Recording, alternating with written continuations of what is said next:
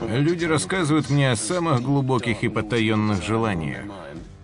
То, что она выходит за этого старпера, еще не значит, что она его любит, правда? Господи, конечно же нет. Поверить не могу, что я это только что сказала. Есть что-то в его лице. Что если бы дьявол решил уйти в отставку и переехал в город ангелов? Привет, босс. Помнишь меня?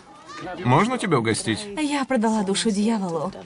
Значит, дьявол тебя заставил? Пить, принимать наркотики, шляться, где попало. Выбор за тобой, дорогуша. Соберись.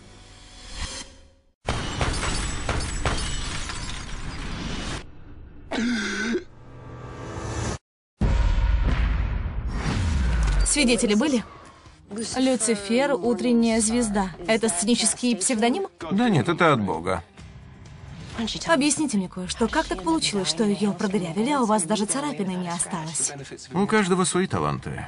Может, откроем свое охранное агентство? Хватит на сегодня. Кто-то должен быть наказан. Какая разница, ты же дьявол. Кажется, у тебя гости. Менезиил. Ты должен вернуться в потусторонний мир.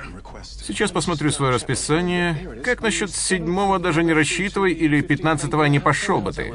Тебе конец. Ну-ка попробуй, папочка огорчится. Он и так слишком долго был милосердным. От Джерри Брукхаймера?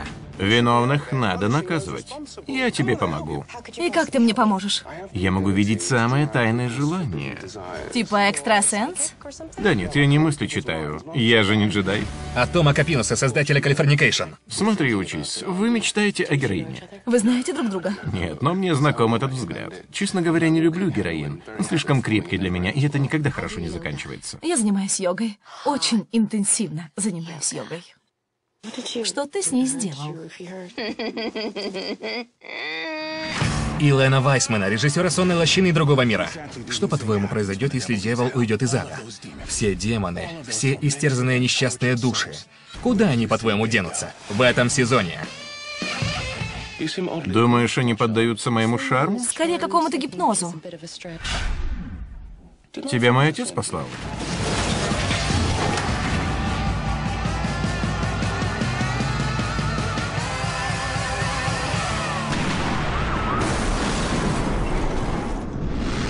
Как тебя зовут?